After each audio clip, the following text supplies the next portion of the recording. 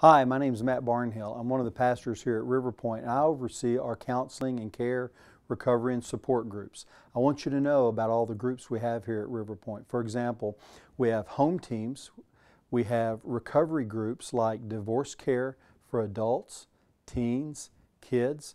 We have grief recovery group. We have a codependency class. We have a group for spouses of sexual betrayal. We have support group like traditional Alcoholics Anonymous and Narcotics Anonymous, as well as Al-Anon, which is for folks affected by someone else's drinking.